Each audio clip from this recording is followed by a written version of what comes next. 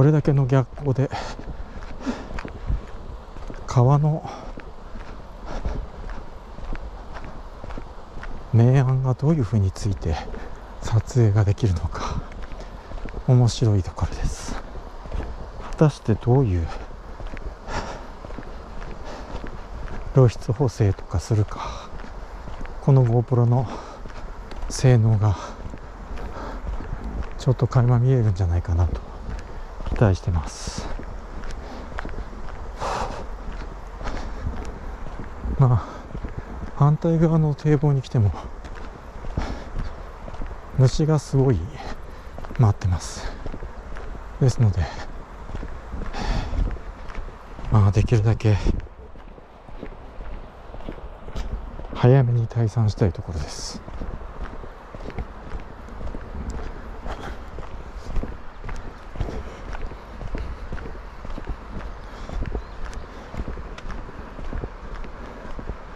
どうでしょう。まさに逆光最悪のカメラとしては厳しい条件。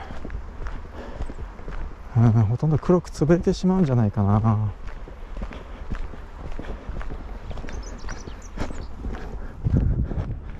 ですねやはりこっちを撮っていった方が。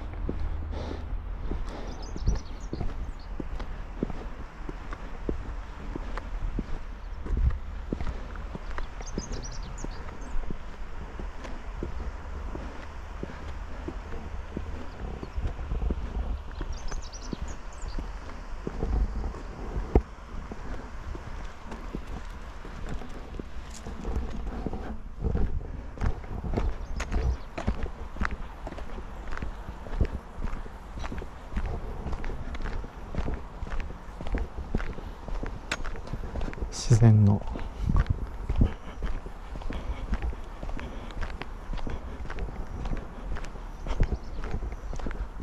流れですね。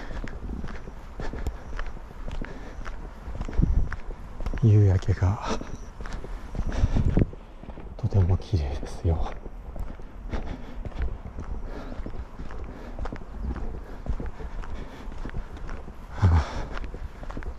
去年来てた時にこんなに虫にたかられながら撮影してたんだなと思うとちょっと驚きます。忘れてました。ここまで虫が寄ってきただろうか。ああ最高ですね。ここ最高。これ最高だよね。私この風景めっちゃ好きですね。すごい最高だと思うんです。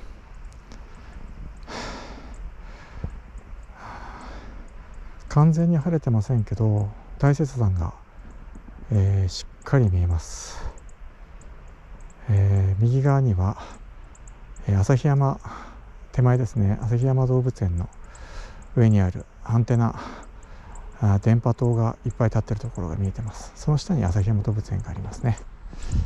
さあ行きましょうか。この厳しい逆光の中を。鼻に虫が入っていますね。うん。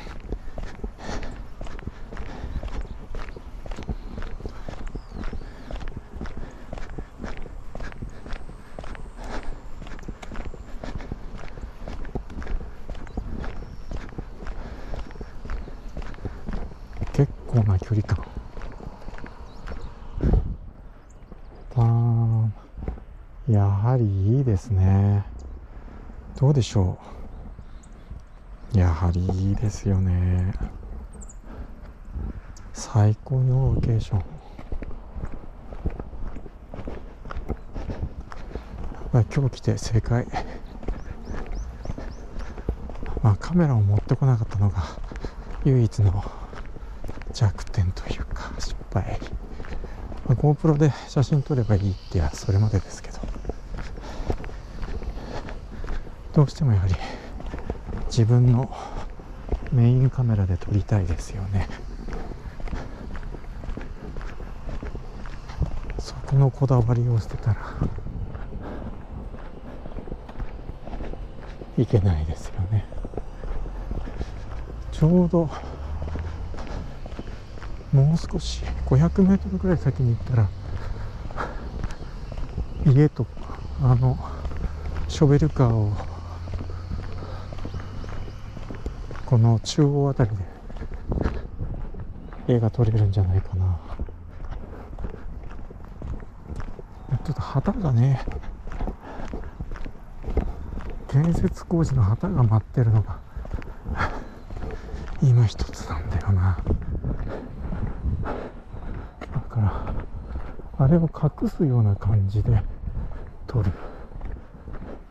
かな。どうでしょうこういう。この逆光加減取れるのかな。あやっぱり家をまたぐか。電柱は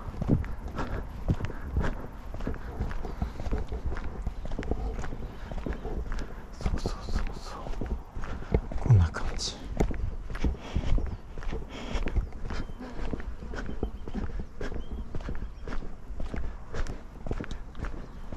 おっとっとさあどうでしょう？はい私が取れたかな。一瞬私が入ったんじゃないかな、はい、白飛びしてますね。はあ。あどうもやっぱり白飛びしちゃったらね。帰ってチェックだね。うんここがギリか。こがギリギリかな。うんそうですね。ここはちょっとギリギリな感じですね。はい。な気がします。また夕焼けですね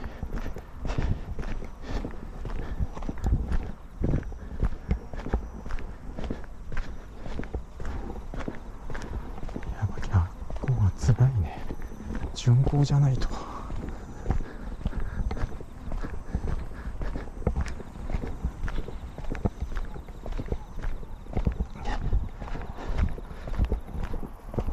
GoPro ビデオストップ。